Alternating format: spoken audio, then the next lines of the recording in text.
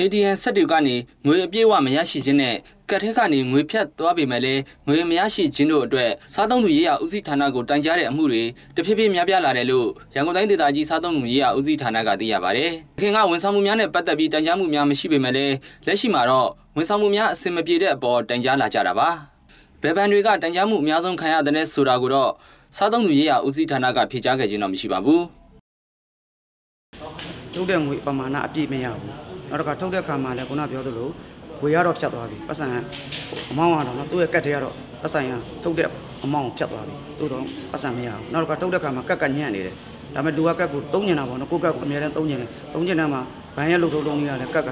သူက ပြန်ပေးဖို့ဆိုရင်တို့မှအစင်းစင်းလောက်ရတော့ကြားတယ်အဲ့ဒီပုံမှာစားသုံးသူကသူ့ကတ်ကိုမတုံးမလို့ဆိုတော့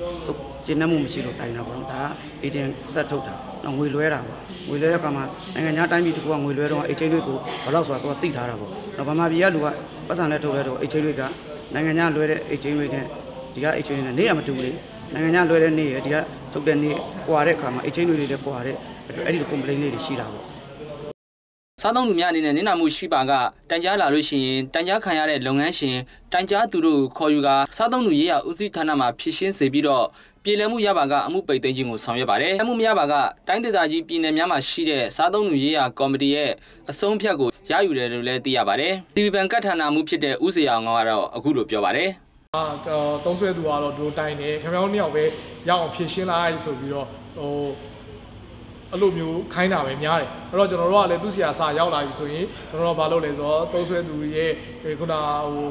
အကောင့်ထဲကပတ်စံဖြတ်သွားတော့ပါဆိုအဲ့လိုဆက်သွယ်အခုဘယ်လိုဖြစ်တာလဲဘာဖြစ်တာလဲကျွန်တော်တို့စစ်တယ်တကယ်ပဲသူကအကောင့်ထဲကဖြတ်သွားပြီးတော့ပတ်စံမရဘူးဆိုကျွန်တော်တို့ကသူ့ကိုချက်ချင်းဖြည့်ရှင်းပေးတယ်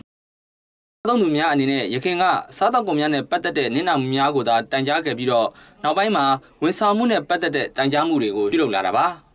စားသုံးသူရေးရာဦးစီးဌာနမှာလုပ်ငန်းရှင်နဲ့စားသုံးသူတို့ဖြစ်ရှင်းစဉ်ကာလအတွင်းမှာလုပ်ငန်းရှင်ကဖြစ်စေစားသုံးသူကဖြစ်စေလူမှုကွန်ရက်ကိုအသုံးပြုပြီးတော့ online မှာတင်လို့ရှိရင်ဌာနအနေနဲ့ဖြစ်ရှင်းမှုတွေပြုလုပ်ပေးမှာမဟုတ်တော့ဘူးလို့လည်းစားသုံးသူရေးရာဦးစီးဌာနဒုတိယညွှန်ကြားရေးမှူးဦးမင်းသိန်းကပြောပါတယ်။လုပ်ငန်းတရားကြီးတစ်ခုထဲမှာဗန်တွေရဲ့ဝန်ဆောင်မှုနဲ့ပတ်သက်ပြီးတော့တိုင်ကြားတဲ့အမှုတွေကတော့10ကနန်းခန့်ရှိတယ်လို့လည်းသိရပါတယ်။ကျွန်တော်ချမ်းချင်းပါ။